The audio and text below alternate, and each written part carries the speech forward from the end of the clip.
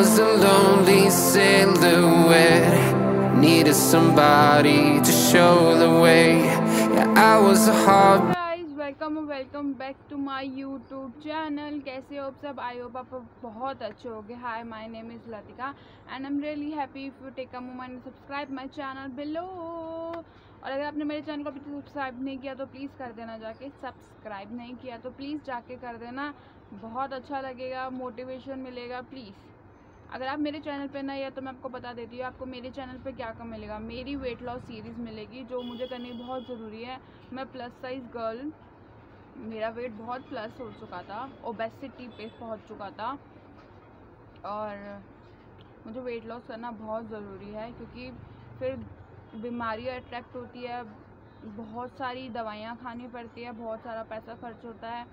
सो वो मुझे नहीं करना था। मैं बहुत चोर इंसान हूँ दवाइयों के मामले में। अगर मुझे बुखार भी होता है, एक डोज ही लेती हूँ, ठीक हो गया तो वो डोज और मुझे बिल्कुल भी दवाइयाँ खाने का बिल्कुल शौक नहीं है, बीमारियाँ लगाने का कोई शौक नहीं इसलिए मुझे वेट लॉस करने की सख्त ज़रूरत है। मैं आपको बता देती हूँ, मेरा बॉडी टाइप क्या है? मेरा बॉडी टाइप है pear shape body type girl मेरा जो lower body upper upper body से ज़्यादा है सो इसलिए पियर शेप कहलाता है। बाकी अगर आपको अपना आपका बॉडी टाइप नहीं पता तो प्लीज़ गूगल कर लेना, सबका बॉडी टाइप होता है। और यस और मैं आपको बता देती हूँ, अभी हम कौन सी डाइट कर रहे हैं? अभी हम कर रहे हैं Suman Pahuja fat to fab owner है। वो fat to fab YouTube channel चलाती है। उन्होंने ढाई महीने पहले एक वीडियो अपलोड करी थी low carb high protein diet so उस डाइट से मैम क्लेम करते हैं, अगर आपने अच्छे से करा तो दस से तेरह किलो आप आराम से उड़ा लेंगे। इसमें प्रोटीन ज़्यादा है कार्बोहाइड्रेट की डाइट बहुत कम है। और जो जिसको फैट लॉस करना होता है, वो कैली डेफिशिएट डाइट पे ही जाता है। अपनी अपना जो एक्चुअल कम खाना पड़ता है कैलरी डेफिशिएट होता है कि आपको कम खाना खाना है कैलोरीज कम लेनी है। डॉगी बुक सो इसलिए हम लोग ये वाली डाइट कर रहे हैं। ये रैंडमली मैंने उठाई है। कोई ऐसा परस्पेक्टिव नहीं था कि मुझे यही करनी है। मेरी बस मैं सेक्शन में स्क्रॉल कर रही थी तो उसमें आ गई थी एंड मुझे काफ़ी सही लग रही थी। और मैं बिकॉज़ शॉप पे बैठती हूँ सो so, उसमें डिनर डिनर बनाने का ज़्यादा काम जाम था नहीं और मुझे, मैंने इस डाइट से पहले एक डाइट करी हुई है जिसमें मैं सिर्फ़ दो मील लेती थी। तो उस वक्त मैंने मेरा वेट मेरा वेट स्टार्टिंग में फ़र्स्ट जुलाई को 90.2 पॉइंट था। सो मैंने ना उसी दिन प्रण ले लिया था कि मुझे कम से कम वेट अपना कम करना है। तो 90 डेज़ में अपने आप को अच्छे से दूँगी। एक महीने के लिए हमने fat to fat Suman Pahuja ma'am की डाइट कर रहे हैं। एक महीने के बाद हम किसी और डाइटिशियन की करेंगे। इससे पहले मैंने डाइटी डाइटी कह रही हूँ। डाइट डाइटिशियन से बोरो करी थी। सो मैं अभी मेरी जेब ना साथ नहीं दे रही है कि तू खरीद और फिर कर। सो अभी हम लोग यूट्यूबर की कर रहे हैं। जब साथ देगी तो मैं कर लूँगी। अभी हमने एक महीना सुमन पहुजा मैम की कर रहे हैं। उसके बाद सेकेंड मंथ में आप प्लीज़ हमें बता देना कि मैं कौन सी मैम की डाइट करूँ। इफ़ेक्टिव होनी चाहिए कैलरी डेफिशिएट पर होनी चाहिए फैट लॉस के लिए हेल्प करनी चाहिए।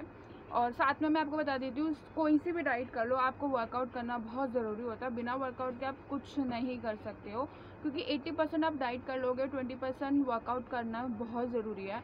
मैंने सुना है आपको बता देती हूँ, आपको डाइट के साथ वर्कआउट करना बहुत ज़रूरी है। 80 परसेंट डाइट कर रहे हो तो 20 परसेंट वर्कआउट करना काफ़ी ज़रूरी है। अगर वर्कआउट नहीं कर पा रहे हो तो 45 मिनट की वॉक करो बहुत ज़रूरी है।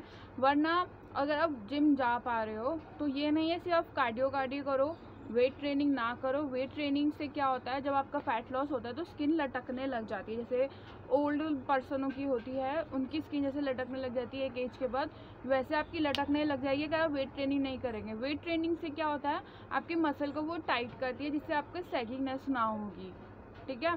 तो ये मत सोचना कि वेट ट्रेनिंग से हम लोग मोटे के मोटे रह जाएँगे। आपको कार्डियो भी साथ में करना है वेट ट्रेनिंग भी साथ में करनी है।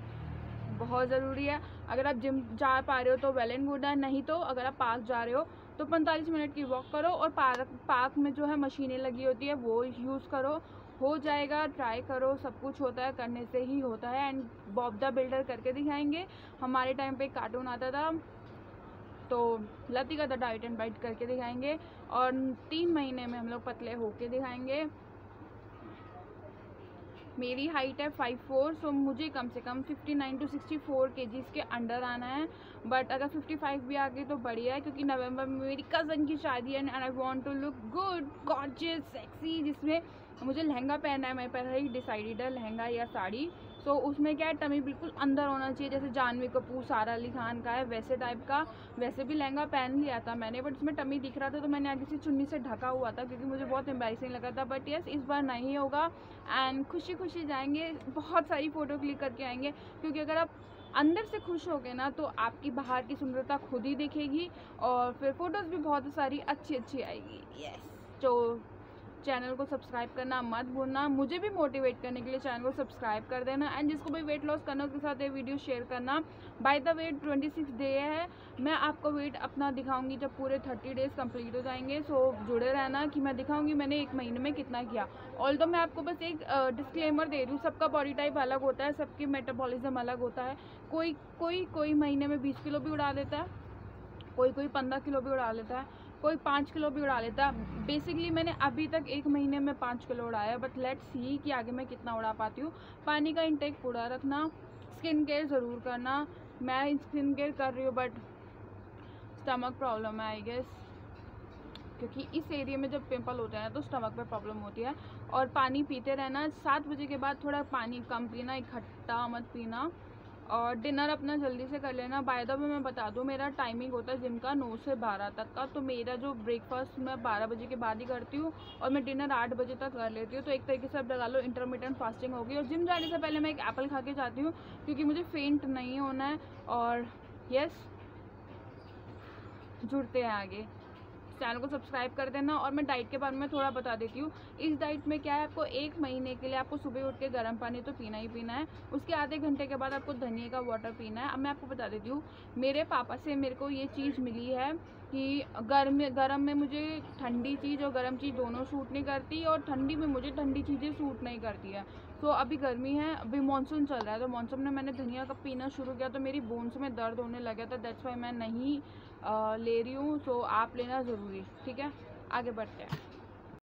आपको सवेरे सबसे पहले अपना फ्रेशन अप होना वेट चेक करना, उसके बाद बासी मुँह आपको गुनगुना पानी पीना, जैसे हिंदी पॉट यूज़ करते हो, उस पोजीशन में बैठ के आपको ये गर्म पानी पीने का है। उसके बाद ब्रेकफास्ट में ब्रेकफास्ट में आपको सैंडविच खाना है। सैंडविच में मैंने आम के अचार का मसाला था। आम का अचार जो है होममेड है मार्केट वाला मसाला नहीं है। उसका मैंने लगाया है और फिर मैंने उसको काफ़ी सही खाया क्योंकि मैं सिर्फ़ नमक और लाल मिर्ची डाल के लगाती थी तो स्वाद नहीं आता था। इससे थोड़ा टेस्ट इन्हेंस हो जाता है, काफ़ी बढ़िया वाला लगता है। एंड बाय द वे मैं जिम से आई थी और मैं एकदम से यही खाती हूँ क्योंकि ये बहुत जल्दी बन जाता है। ये तो आपके पास टाइम है तो आराम से आप कुछ और चॉइस लेके बना सकते हो बट मुझे सैंडविच ही सही लगता है। इसको खा के बिल्कुल आत्मा तृप्त हो जाती है, ऐसा लगता है। फिर मिड मॉर्निंग स्नैक में शतावरी की टी प्लस कोई फ्रूट लेना था। फ्रूट है ये पियर और शतावरी की टी शतावरी टी आपको आयुर्वेदिक शॉप पर मिल जाएगी ऑनलाइन थोड़ी सी महँगी मिल रही है। मेरे को एक सौ चालीस रुपये की एक पाव या सौ ग्राम पड़ी थी। एंड आपको फ्रूट लेना ज़रूरी है। वीडियो में मस्क मैलन बोला हुआ बट मस्क मैलन का सीज़न नहीं है तो आप कोई भी एक फ्रूट ले सकते हो। फिर हम लोग बढ़ते हैं लंच में। लंच में मैंने पनीर का सैलड बनाया था। ज़्यादा खाने का मन नहीं था, इसलिए मैंने थोड़ा सा ही बनाया था। एंड फ़ोन में बैठी नहीं थी तो इसलिए शूट भी नहीं किया। फिर शाम को हमने ली मंजिस्टर टी।